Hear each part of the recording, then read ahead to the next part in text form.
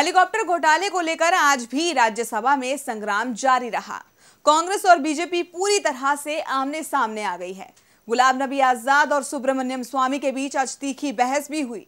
गुलाम नबी आज़ाद ने स्वामी पर जमकर हमला बोला, वही स्वामी भी अपने रुख पर अड़े रहे।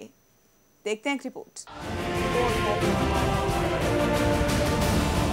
Augusta Westland helicopter deal पर आए इटली के फैसले ने देश की सियासत को हिलाकर रख दिया है। जहाँ एक तरफ़ बीजेपी ने कांग्रेस पर हमलावर रुख अख्तियार कर रखा है, वहीं सत्ता पक्ष की ओर से हो रहे हमले को बेअसर करने के लिए कांग्रेस ने भी तेवर आक्रामक किए हुए हैं।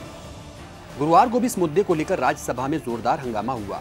वेस्टलैंड हेलीकॉप्टर खरीद मामले में घूसखोरी को लेकर जैसे ही बीजेपी सांसद सुब्रमण्यम स्वामी बोलने के लिए खड़े हुए, कांग्रेसी सांसदों ने इनका विरोध शुरू कर दिया।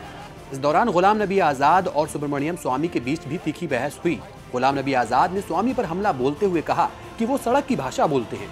उन्हें संसद की मर्यादा का ख्याल नहीं है, जिस पर सुब्रमण्यम स्वामी ने कहा कि ये इटली के संविधान को मानते हैं, इसलिए हंगामा कर रहे हैं। वही अब ये मामला सुप्रीम कोर्ट में पहुँच गया है। सोनिया गांधी, मनमोहन सिंह, अहमद पटेल और अन्य के खिलाफ एफआईआर की मांग को लेकर याचिका दाखिल की गई है। अगले हफ़्ते इस मामले पर सुनवाई होगी। वही अब इस मामले में एक नया मोड़ आता दिख रहा है। अगस्ता हेलीकॉप्टर सौदे में संदिग्ध बिचौलिए क्रिश्चियन मिशेल के एक इंटरव्यू ने मामले में नया पेच ला दिया है।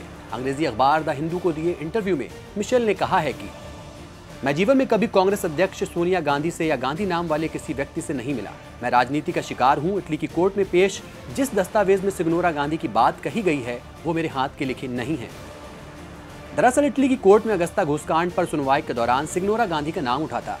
कोर्ट में एक चिट्ठी का भी ज़िक्र किया गया था। चिट्ठी में लिखा था कि सिग्नोरा गांधी की ही नए हेलीकॉप्टर्स के पीछे ड्राइविंग फोर्स है।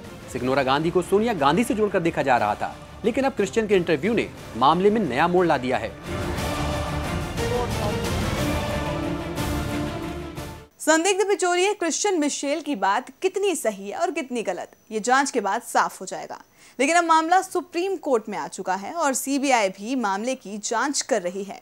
लेकिन इटली कोर्ट के फैसले पर अगर सुप्रीम कोर्ट ने भी मोहर लगा दी तो कांग्रेस के वरिष्ठ नेताओं की मुश्किलें बढ़ना तय हैं।